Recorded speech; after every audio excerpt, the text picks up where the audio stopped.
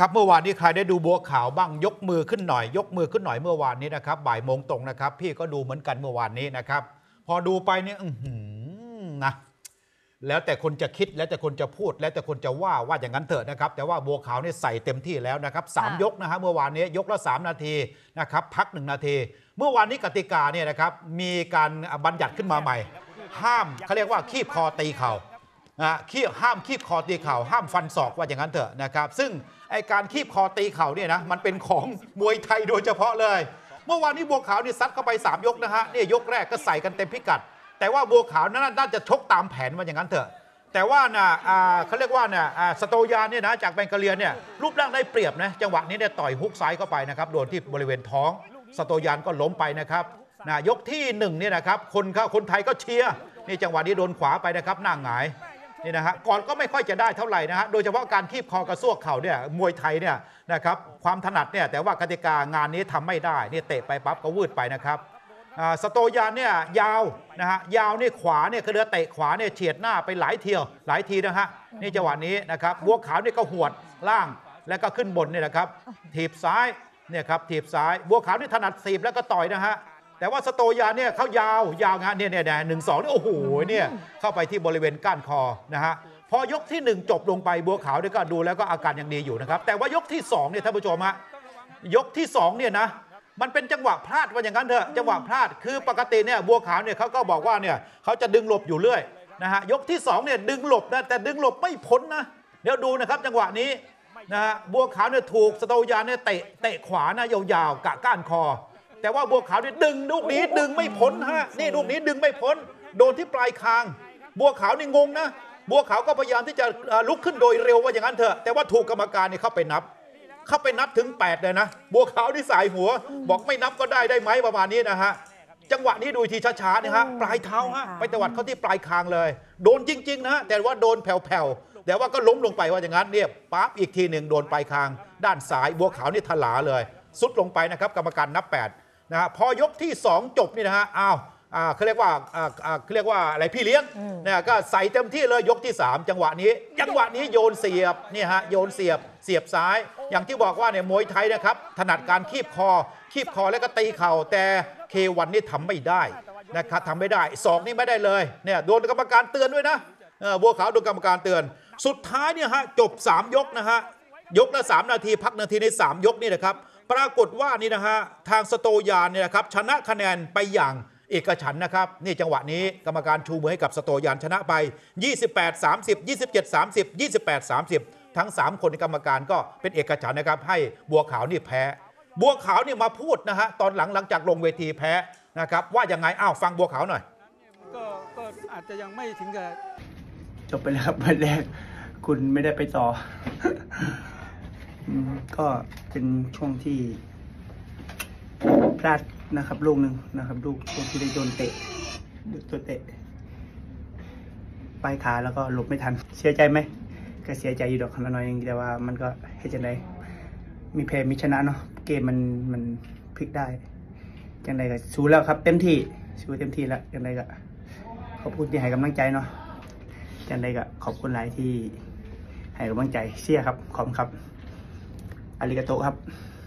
เมื่อวานนี้เปิดหัวมาเลยนะเนี่ยบัวขาวเนี่ยต่อยคู่แรกเลยใน K1 World Max 2024 World Championship Tournament นี่นะครับในรุ่น 70 กิโลนะฮะทีนี้อ้าวนะครับหลังที่จบลงจากเวทีปั๊บเนี่ยนะฮะ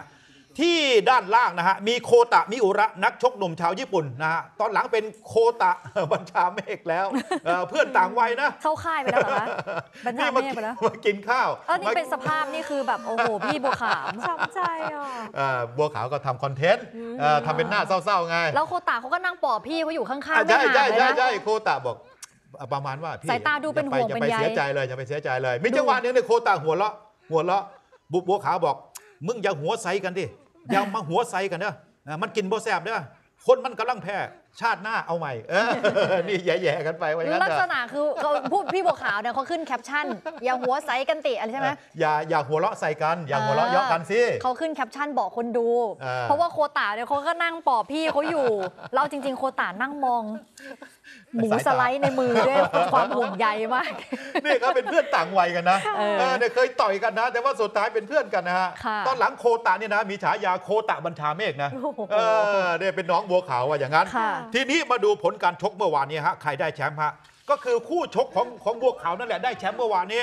สโตยานนะครับที่ชนะบัวขาวในตอนแรกนะครับปรากฏว่าก็เข้าไปต่อยกับชาวบราซิลนะครับชนะบราซิลนะครับแล้วก็ไปต่อยกับรัสเซีย ปรากฏว่าชนะรัสเซียในยกแรกนะ แล้วก็ได้แชมป์นะเมื่อวานนี้นะครับ ได้แชมป์นะสโตยานเนี่ยนะได้แชมป์คว้าแชมป์ K1 World Max 2024 World Championship Tournament รุ่น 70 กิโลนี่ไปครอง นี่นะฮะ เออ นี่แล้วก็ช่วงก่อนมอบเข็มขัดก็มีบัวขาวขึ้นไปร่วมแสดงความยินดีด้วย เห็นไหมนี่ต่อยกับแชมป์เลย บัวขาวเนี่ยแหมเปิดเปิดหัวมาเนี่ยต่อยกับแชมป์เลยว่าอย่างนั้น ชนะไปในยกแรกเนี่ยบัวขาวขึ้นไปแสดงความยินดีด้วย กับสโตยานนะครับ อีกคนหนึ่งของนักมวยไทยนะ ไปต่อยในตอนเย็นๆเมื่อวานนี้นะครับเนี่ยรุ่น 63.5 กิโลกรัมก้องนภาวีรศักดิ์เล็กนะครับอดีตแชมป์ K1 รุ่นไลท์เวทเจ้าของเข็มขัดแชมป์เส้นเล็กนะครับปรากฏว่าพลาดฮะพลาดยกแรกเท่านั้นเองนะพ่ายน็อกยกแรกให้กับยูกิโยสะนะครับแชมป์ K1 รุ่นไลท์เวทปี 2023 ยกแรกเท่านั้นนี่นะฮะพลาดเลยฮะโดนจังๆเลยนะครับกรรมการเนี่ยดูที่ใบหน้านะ ดูที่ใบหน้าไหวไหมไหวไหมไหวไหมพยายามที่จะอ่าพยสู้พยักหน้าสู้นะครับ แล้วก็เตะซ้าย เตะซ้ายแล้วก็โดนนะจังหวะนี้1-2 เข้าไปนะครับ นี่จังหวะนี้ดูนะ โดนนี่เข้าไปที่ขมับเลย ล้มเป็นครั้งที่2ฮะท่านผู้ชมฮะแพ้น็อกไปนะครับ ก็ทำให้กล้องนภาเนี่ยพลาดโอกาสเป็นตัวยืนในการชิงแชมป์โลกรุ่นซูเปอร์ไลท์เวทต่อไป ค่ะ เอ้ยเมื่อวานนี้ มวยมันจริง ใช่ค่ะ ๆ คือแม้ว่าพี่บัวขาวจะแพ้นะนะ แต่ว่าก็สนุกสนานนะ ก็ทราบเชื่อว่าหลายคนก็คงจะสนุกกับมวยเมื่อวานมากเอามาฟังพี่แป๊ดเล่าอีกทีนี่มันนี่เหมือนกับดูซ้ำอีกรอบนึงเนี่ย เมื่อวานเนี่ยไม่ได้ไปไหนเลยนะ ค่ะ อยู่ที่บ้านห้ามใครมายุ่งเลยเป้าหน้าจอไว้เลยนะครับ อยู่หน้าจอค่ะ นะครับ ดูนะฮะเมื่อวานนี้ในมุมคนชอบมวยอย่างพี่นะ ค่ะ บัวขาวเมื่อวานนี้ต่อยเนี่ยนะ มันเหมือนกับว่าไม่ใช่บัวขาวที่เราเคยเห็นไง ลักษณะบัวขาวจะต้องแบบโอ้ลำหักลำโค่นจะต้องรุนแรงใส่เข้าไป ต่อยเข้าไปถีบเข้าไปเตะเข้าไปนะฮะเข้าใจว่าต่อยตามแผน เข้าใจว่าต่อยตามแผนเพราะว่าถ้าต่อยครบ 3 ยกเนี่ยจะต่อย 6 ทั้งหมดนี่ 9 ยกนะคือทุกคนเมื่อเขาวานเนี่ก็ยวิเคราะห์กันหลายอย่างก็บอกว่าพี่บัวขาวเนี่ยอาจจะแบบก็ต้องเกลี่ยแรงใช่เกลี่ยแรงเอาไว้ใช่ใช่เกิดถ้าแบบว่าเกลี่เอยแรงอต้องไปรอบ 2 รอบ 3 แล้วถ้าเกิดว่าใส่หมดตั้งแต่ ตั้งแต่ใช่รอบแรกเนี่ยนะใช่เออก็เกลี่ยแรงไปอะไรแบบนี้นะคะอ่าคือต่อยตามแผนว่างั้นเถอะแต่จังหวะที่ไปพลาดปลายเท้าขวานี่นะฮะเข้าไปที่บริเวณปลายคางเนี่ยอืมนะโดนจริงนะลูกนั้นนะโดนจริงค่ะโดนเต็มๆเห็นโดนเบาๆแต่ว่าสโตยาเนี่ยโอ้โหเนี่ยลำหักลำโค่นเขาสูงไงเขาสูงกว่าตวัดไปปั๊บเนี่ยบัวขาวเนี่ยสัตถลาเลยถลานะกรรมการเปรียบไปนับเลยอืมบัวขาวบอกบัวเป็นหยังชาติหน้าต่อยไหมโอ้โหเออค่ะอะครับเดี๋ยวรอรับพี่บัวขาวกลับบ้านแล้วเราเดี๋ยวคงจะได้พูดคุยกันนะ